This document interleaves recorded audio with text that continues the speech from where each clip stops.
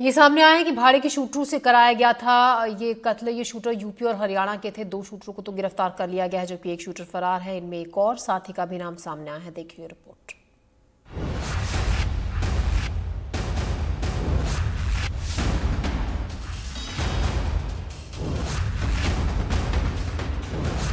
धर्मराज कश्यप, गिरफ़्तार। गुरमैल सिंह, गिरफ़्तार। शिव कुमार, फरार। जिशान अख्तर, फरार। ये वो चार नाम हैं जिन्हें लॉरेंस गैंग ने बाबा सिद्दीकी की हत्या के लिए सुपारी दी थी। मिशन का नाम था टारगेट बाबा सिद्दीकी।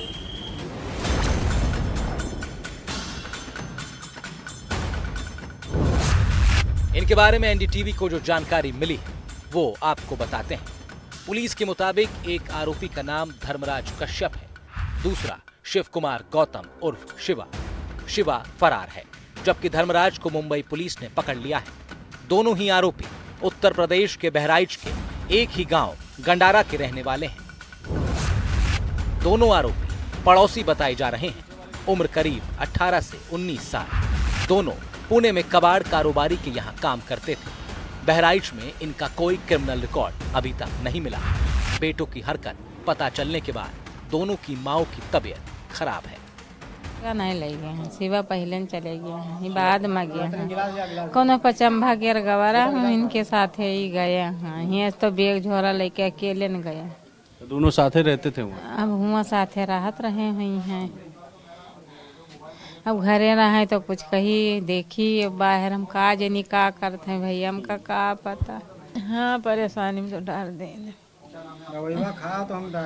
सबको ऐसे भीड़ लाग रहा है द्वारे द्वारे तब फिर जान पावा तो हम रोवे लागिन बीपी लो गए दवाई आने गई हुआ से नहीं आई और जैसे आप लोग जैसे सब तमाम जने आवे लागे तब हमका मालूम बहु पुलिस भी आई थी? हाँ। यही पूछिन तो जौन भैया जानित रहे तो उन बतावा जौन नहीं जानी थे तो कहाँ बताई दी तो धर्मराज और शिवा दोस्त थे।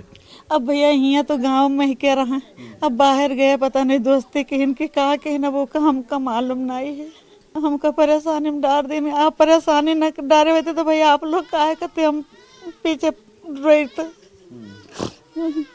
इस छोटे से घर में रह करके जो आदमी दो पैसा कमाने पुणे गया उसने न सिर्फ़ अपनी ज़िंदगी बर्बाद की बल्कि माँ की भी तबीयत खराब है और पूरा परिवार इस वक्त परेशानी में है।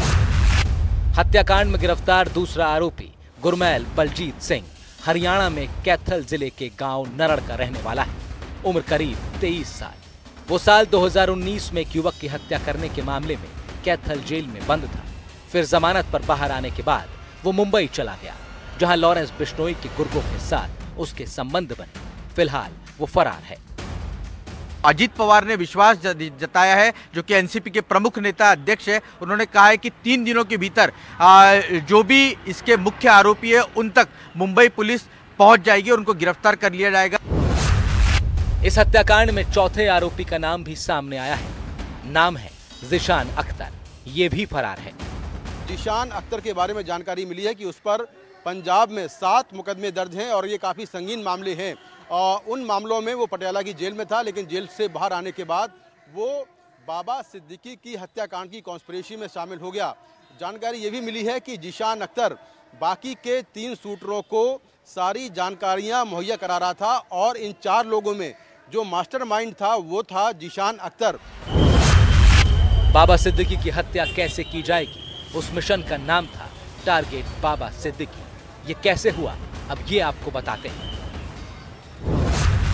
शिवा पिछले कई महीनों से पुणे के हड़पसर इलाके में रह रहा था।